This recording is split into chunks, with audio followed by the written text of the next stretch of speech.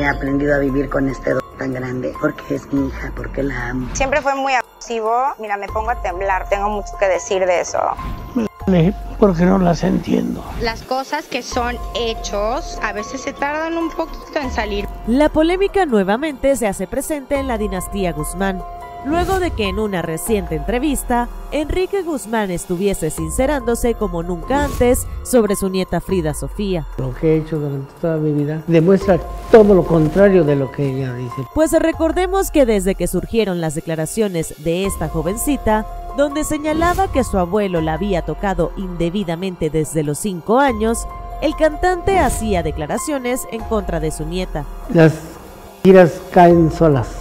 Pero ahora, ya a un año y medio de la polémica, Enrique Guzmán estuvo hablando nuevamente sobre este escándalo y reiterando que nunca cometió el hecho que asevera Frida Sofía. Nunca he sentido ese tipo de inquietudes raras. También Enrique Guzmán estuvo hablando sobre la posibilidad de una reconciliación con la hija de Alejandra Guzmán, asegurando que no tiene ni el mínimo deseo de reencontrarse con ella. La única desgracia es que estamos emparentados. Incluso Enrique Guzmán también se estuvo tomando el tiempo para señalar cómo se ha encargado de lidiar con todo el escándalo que generaron las declaraciones de su nieta. Me siento muy mal, en principio muy mal. Y aseguró entonces que no desea ver a Frida Sofía ni siquiera cuando él se encuentre en sus últimos momentos de vida. No, definitivamente no. Pero ahora, a más de un año de la denuncia judicial que hizo Frida Sofía en contra de Enrique Guzmán, surge la pregunta de muchas personas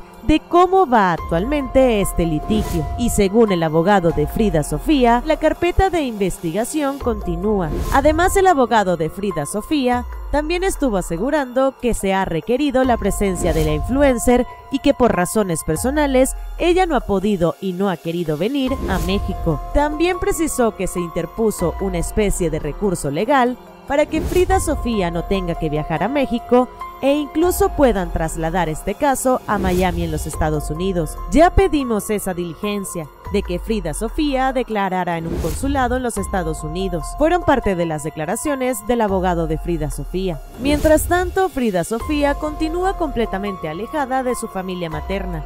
De hecho, una de las grandes cosas que llamó la atención recientemente fue el hecho de que Frida Sofía fue una de las grandes ausentes en el más reciente homenaje que se le rindió a su abuela, doña Silvia Pinal, en Bellas Artes, pero parece que por razones obvias, ella no quiso estar presente en compañía de su familia materna. Recuerda que este es el Muro de la Fama, suscríbete y dale like a este video y no te olvides de visitar nuestros otros videos para mantenerte siempre informado de lo que ocurre en el mundo del espectáculo.